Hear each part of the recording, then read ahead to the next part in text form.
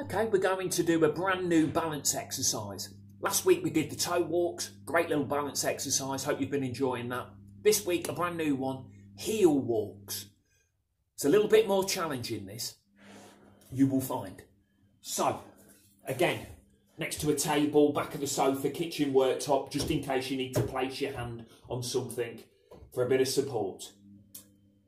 Feet and knees hip width apart, slight bend in the knees. We're trying to be up straight for this one. We're going to be tempted to stick the rear out, but if we could try and keep up as straight as possible there.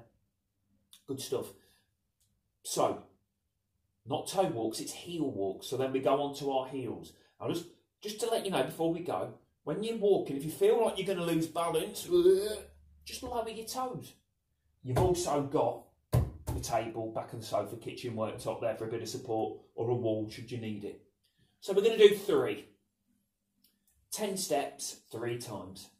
Arms in line with the hips. You need to have your hand on the chair table. For now, please do. And eventually you can build up to taking your hand off the table. Raise the toes. And we're going to start 10 small steps. Lower the toes. But you're finding that a little bit more challenging than those toe walks. We're going to go again.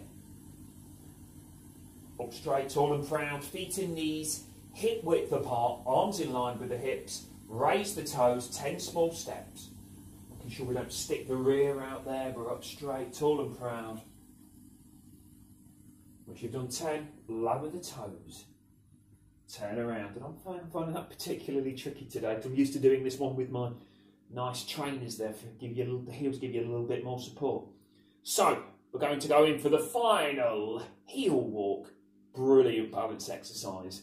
We're starting to get more challenging now. Feet and knees hip width apart. Arms in line with the hips. Just shy locking the knees. Away we go.